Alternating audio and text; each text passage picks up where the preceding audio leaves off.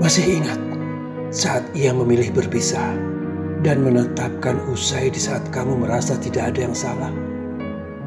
Seketika kamu melayang gamang, terhempas patah dan berjalan di gelapnya arah.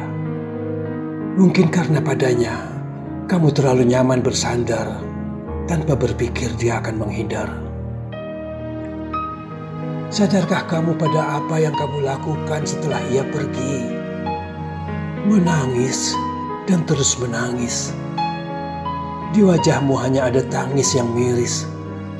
Ketegaranmu hilang, rasa percaya dirimu bahkan ikut melayang.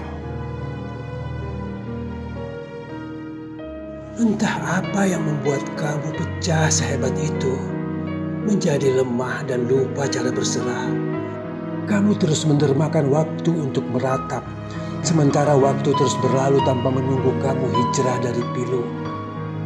Melumpuhkan akal sehat hingga kamu benar-benar sekarat.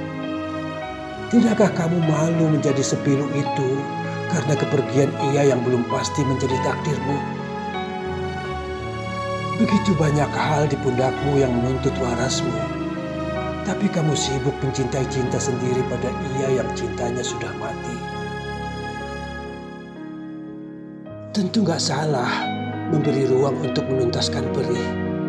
Tapi mesti cepat kembali melanjutkan hari dengan hati yang lebih bersih. Karena pada hitungan waktu, kamu pasti akan pulih dan mampu menertawai jejak kebodohan yang pernah kamu pilih. Aku hanya ingin bilang, patah hati jangan menghancurkan diri karena kita dicipta bukan untuk sekedar meraih cinta manusia.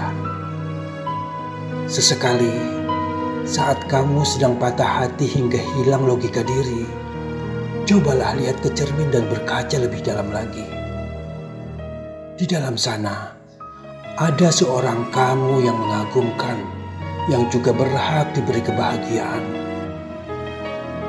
Sudahi luka dengan mentasbihkan cinta kepadanya dan percaya jika kunci bahagia bukan harus bersama yang dicinta, tapi pintu bahagia terbuka karena kita tidak berdebat dengan apa yang dituliskan untuk kita.